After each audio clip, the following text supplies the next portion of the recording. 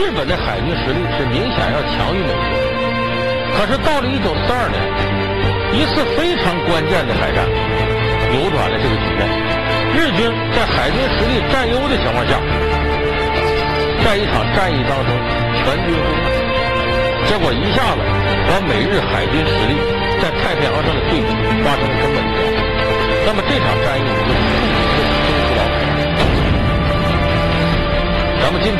就给大伙说说这个战争史上经典的中途岛海战的一些内幕。那么说中途岛在哪儿呢？中途岛的位置啊，离日本本土和美国本土差不多。它是太平洋上的一个小岛屿，也不过就五平方公里。你别看小，它处在耿嗓咽喉上，正好是亚洲到北美洲航线的一半中间这儿，所以叫中途岛。这个岛五平方公里，它是归美国。美国在这个岛上呢，就建立起了海军基地。围绕这个基地呢，美国构建了它在太平洋上的一道防线。所以正是因为有这道防线，美国人才觉得无论第二次世界大战怎么打，打不到自个儿家门口。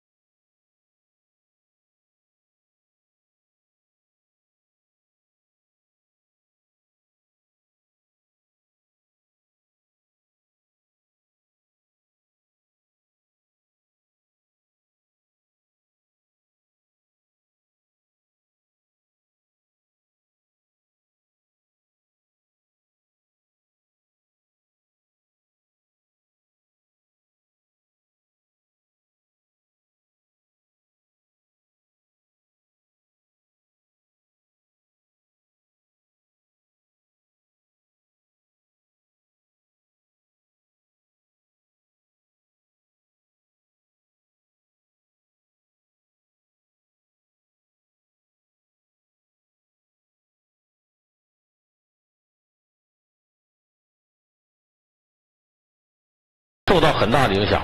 这样一来，第二次世界大战，后来我们知道一九四五年结束的嘛。如果中途岛这一战美国输了，第二次世界大战绝不可能一九四五年就结束，不定得打到什么猴年马月去。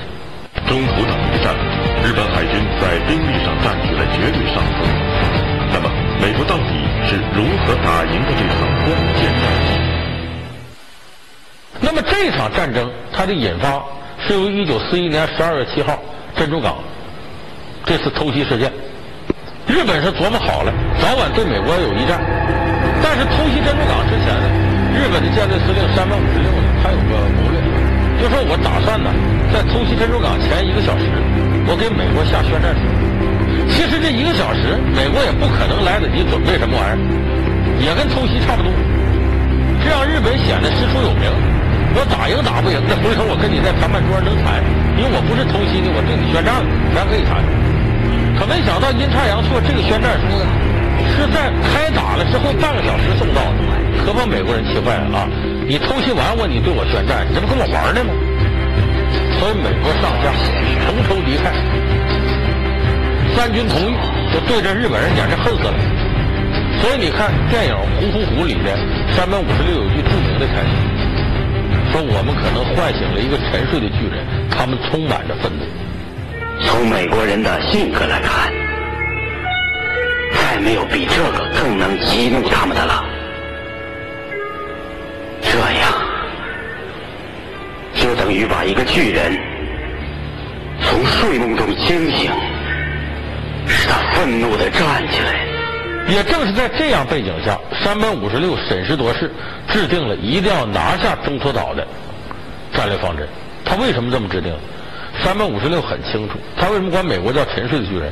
眼下美国海军的实力是不如日本，可是如果战争拖入持久战的话，美国后方是稳定的，他的兵源补给呀、国力呀，明显要比战争已经进入纵深的日本要雄厚的多。就说如果长期持久的打下去，日本的海军肯定攻不上，美国的海军会源源不断的补给出来，美国国内就开始造航母了，有什么？那力量是非常强的。所以山本五十六决定必须趁这个时候，以最短的时间摧毁美国海军，要不然的话，日本海军就完了。山本五十六这个计划充满着赌博性质，因为山本五十六本人就是个赌徒。据说这个人呢，对扑克呀、围棋呀，反正这些能赌的东西，他都感。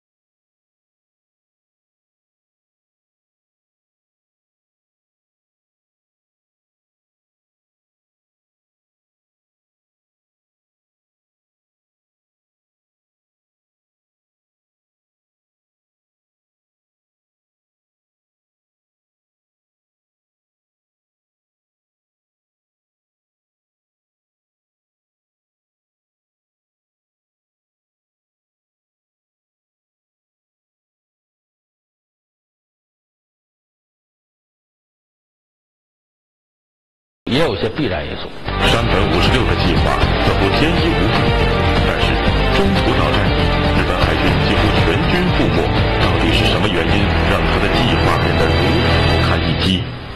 再一个呢是，你再好的计划，你不能让对方知道啊。你计划制定的越周密，对方要知道了，你危害越大。说他这计划怎么泄露出有内奸？不是，当时二战的时候，情报战打的很厉害。双方在截获彼此情报这方面，美军占了大优势。我们知道那个时候情报主要靠什么？拍电报。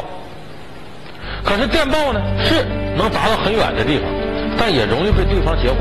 对方只要掌握了你拍报的频率，就能把你的电波截获，然后根据你这电报呢，再按照电报这个密码本再翻译过来，你的情报他都知道。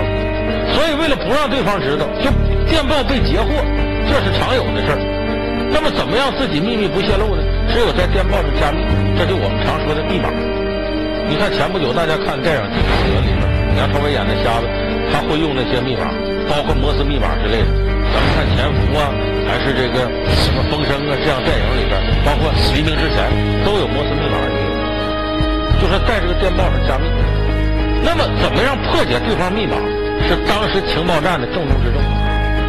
你看，英国曾经多次破获希特勒德国的叫恩格里玛密码，哎，也在战场上收获了奇效。美国在这时候跟日本就大打这种情报战。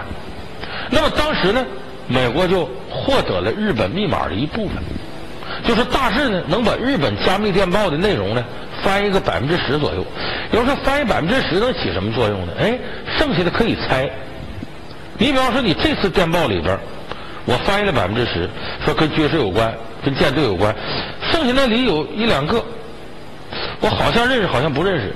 等下次电报发现又有这些字儿，你就可以大致猜，根据他最近的动向猜这几个字说的什么意思。麦克，我们截获了山本参谋部的密电。是，当然这不是像翻译歌那样，把歌词东一句西一句的译可是，然后再拼凑起来就行了。你们到底能够译出多少？哦，百分之十五。真正的多少？百分之十。那就是说，十个字当中只能译出一个。我说舅，你们完全是在瞎猜啊！我们叫做分析，就算你的分析可以成立，可是那些东西又代表什么呢？还没搞清楚呢。你是不是有什么新消息？山本手下的人最近发了加密电，是这样。这里一定有文章，至少我感到有什么重要的事会发生。那么，美军在中途岛海战之前，多次截获了日本的电文，发现日本最近很可能有重大的行动。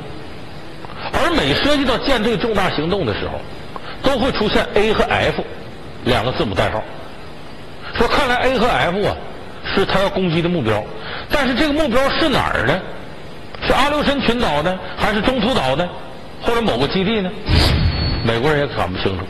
这要弄不明白可坏了，因为美国海军实力不如日本。我要分散防御的话，那日本要打一个地方，你受得了吗？本来整体都不如人家，人家在集中优势兵力，你肯定完蛋了。所以美国是必须得把这个密码翻译出来。他们就采用了一个试探方式，就是故意呢用日本已经掌握了的密码发电报，然后在电报里呢说以中途岛的名义往外发，说我们这地方啊淡水设备坏了，你迅速的赶紧再把蒸馏水过滤设备拿来，要不我们岛上士兵都得饿死，都得渴死。就这么发送电报。日本呢果不其然把电报截获了，截获了之后呢又发给前线一封电报，美国也截获了。一下子在这电报里发现了 A 和 F 这俩字，这说明什么？A、F 指的就是中国。你看这招妙不妙？我们把这份电报传到中途岛，将军，这是个假情报，就说中途岛淡水冷却器坏了。发报时要保证非常的清楚，这样就可以使日本人能够听到每一个字。把中途岛的问题列入明日的程序表。是将军。这其实咱们现在不少算卦的都会这招，比方你来看，哎呀，你这个这个事业上犯小人呐，把这话先抛出来，看你反应。一看你觉得，哎呀，可不是嘛，所以他好顺着这杆往下爬蒙你。啊，这跟算命的招是一样的，一试探试探出来了，日军要在近期对中途岛海战，哎，要掀起中途岛海战，对中途岛大规模袭击。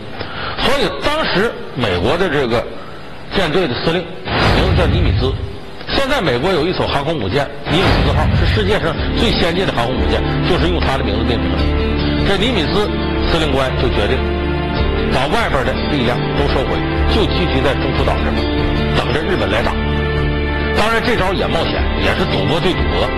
但是你当时实力不如日本，你就得用这办法，希望能够把所有优势兵力集中到这儿，把日本的海军全面歼灭。那么，其实后来这个不可一世的山本五十六。他的死也直接死于了美国的情报战。美国后来呢，多次截获日本的情报，就发现呢，日本这个情报里边打电报里边有这样的这个呃提示，就说最近呢，我们某个高级长官要到某某某地方巡查，大致比方说所罗门群岛周围一带，要到这儿来视察。这时候美国海军就准备呢，要到他视察的地方突然加大空中袭击，要把这个大官给打下来。当时美国也不知道来的一定是山本五十六，但是后来呢，美国呢在日本军方呢也有间谍。当然近期呢，所有的海军的，比方说这个够级别的将领呢，有的呢被派回日本本土，有的呢到了这个东南亚一带。当时只有山本五十六这个日本海军的最高级将领是坐镇在太平洋战场。那么近期说一个最高级长官要到那边视察，只可能是他。所以美军根据自己的情报站呢，先已经掌握了山本五十六要到这个地方来视察。所以当山本五十六，哎，他的舰队、他的空中飞行队飞到这个上空时，美军突然间在附近埋伏了大量的战斗机，一下子上来，噼里啪啦就这一通空中交战，以优势兵力迅速把三百五十六这个飞行队的好多飞机都打落了，其中三百五十六的飞机是混在其中的。